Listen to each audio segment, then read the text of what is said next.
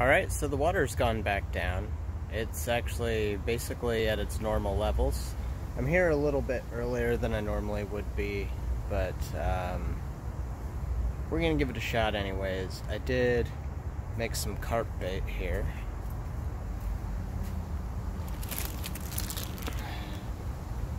So let's see if it works. Got the recipe idea from Catfish and Carp on YouTube. So, uh, giving it a shot. I've already chummed. And, uh, we'll see. I'm also going to use my stink bait for some catfish, so maybe we'll at least walk away with a catfish or two. Here we go. Alright, so, just really got here. Water's uh, water level is way down. but here we are, trying again. I've already got a small hit. My allergies are going crazy. So we'll see here um, if we can get something. It does look like something's playing around with my line right now. Oh. Still messing with it. Oh. Come on. Alright, still something playing around with it. Alright, it's gone quiet again. So, I'm going to uh, put a carp rig out here and we'll see how it goes. Alright guys, so I did have a bit of a hit on the carp bait here, um, and I saw some carp right beside where I I had just thrown. So I think that the the nature of the bait and attracting the carp into the area has worked. All right, here we are again. I'm going to be trying the carp bait as well as the catfish bait. Uh, we'll see how they do. The water's down like as far as I've ever seen it before, so I don't know if that's going to do much for us carp wise, but let's see how we do. I got to make this quick, maybe an hour or so. Uh, it's our anniversary, the wife and I's. So happy anniversary, honey. Love ya. Let's get to the fishing. All right, so we got the one on the left rigged with our usual stink bait. I'm not in the spot that I would like to be, but there's, oh, oh my god, okay. What the, oh my god, I got something. I just, I got? Oh man. Well, built, it's worked me into something. There we go. Catfish. That was just, that was just supposed to be my intro. That was unexpected. Is that a piece of metal? Oh, this just screams tetanus shot. Easy, buddy. Alright, we got 50 pound test, so I would think we're alright. There we go. That's a hubcap. A freaking hubcap. Good lord. Easy, buddy. Let's get the trash off of you.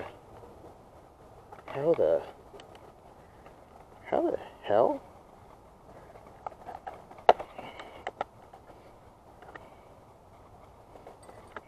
Oh my, oh god, oh god. Holy Holy Oh, he broke me off.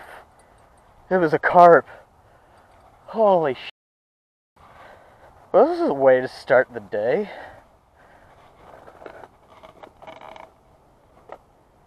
Oh, he swam through here. That's what he did. Okay. Well, that sucks. Alright, buddy. Oh my god, I got him right where you don't want to.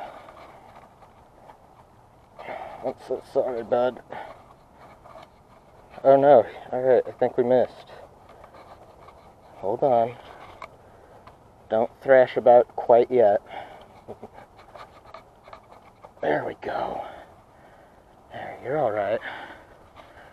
Yeah, you're alright. Come on. Alright, got our first catfish. It's dirty as all hell, but uh, that was pandemonium, I think we can all agree. It's a solid pound, pound and a half.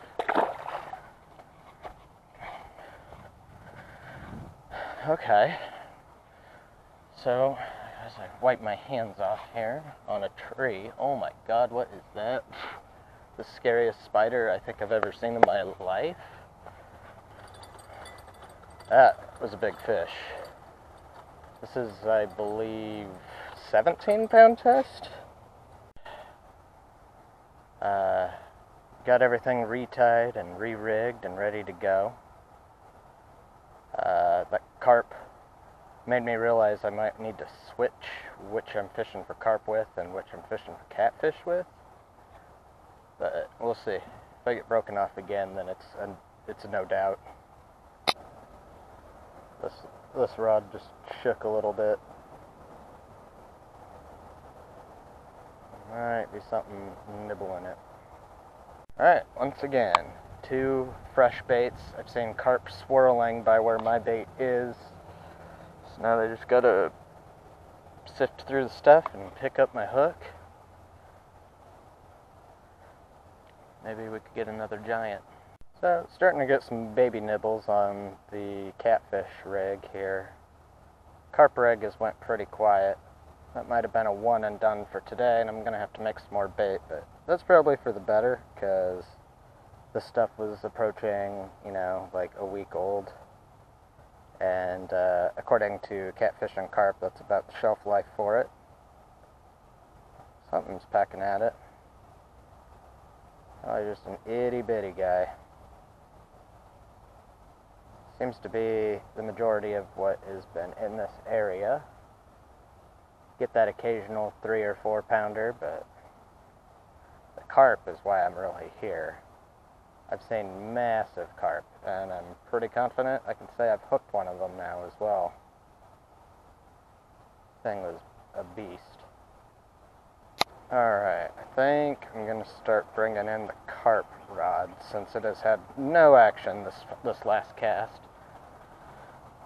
Um, yeah, next time I might try even a little further down to my right here. It's, there's a lot of vegetation though, so it'd be super snaggy. That's the only thing I don't like, but that's alright.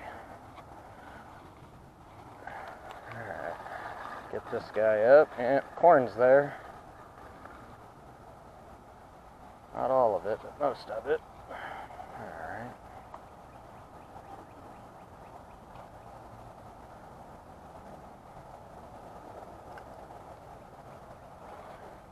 Alright, and we'll wait just a few more minutes to see. I mean, I had a pretty decent hit here not that long ago. Just want to, real quick, uh, make a closing for this video as I'm editing it, actually. Um, it went overall okay. Uh, the first day, if I included that, which I think I am going to, was garbage, absolute garbage. Caught nothing, had barely any bites that second day that we went out there, that carp bait proved that it can uh, it can work. That sucker snapped 17 pound test um, pretty easily. So I'm I imagine I mean when it hit it like came up and like splashed and stuff. I'd be shocked if it were less than 20 pounds. It might have been bigger, but I didn't get a great look at it. Um, so what did we learn? We learned that even though the water is down, there are fish to be caught there, and I can still have success. We did catch that catfish after all, so not a complete loss, not a great day. It was a slow day, but I mean, those bites came right at the beginning. i would probably had my stuff in the water for not even 10 minutes. Then the rest of the time, it was just a hit here and a hit there, but we're definitely going to give it another shot. I'm going to make more of that oatmeal, gelatin, and um, corn mixture. Worked pretty well. Let's give it a go again next time. Thanks for watching. If you enjoyed, please hit the like, hit the subscribe, and we'll see you next time.